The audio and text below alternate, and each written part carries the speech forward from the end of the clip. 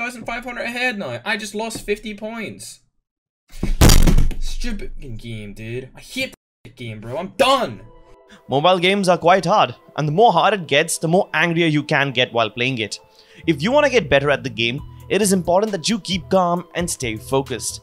However, it's not as easy as it sounds. Let's get to the basics. Here are 5 tips to not get angry in mobile games. The first step is to keep a calm surrounding. Before you dive into any game, you need to know that you are in a safe surrounding. It isn't easy to get a headshot with a sniper rifle when someone is outside your house banging thalis. Until you can make sure that you won't be troubled by anything outside the game for the next 20 minutes or so, make sure that you don't enter the game. Friends, there's no point in having half your concentration on everything outside and half inside the game. Give your 100% because that's the only way you can improve your game and get that chicken dinner or that booyah or victory. The second thing is to make sure you understand your role properly. Many times, some healers don't understand what they're supposed to do in the game. They might pick a wrong fight or go into the open to heal. Understanding how limited your role is is actually incredibly helpful.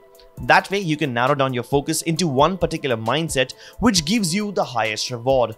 After all, it's of no use if you're an assaulter and you stay hidden all the time, because that's just a waste of your potential. And if your assaulter is always in the open, that's not understanding when to stop and take proper responsibility. If you keep breaking these rules, you'll always end up angry. A fish can't fly and a bird can't swim. Well, sometimes, but you get my point. Sometimes we end up making mistakes. They happen, they're a part of the game, they're natural. But if you just keep on remembering how you forgot to gloo wall that one time, you will not be able to focus on your next move. And if you stay stuck constantly, you'll almost certainly end up living in regret, which isn't a nice place to live.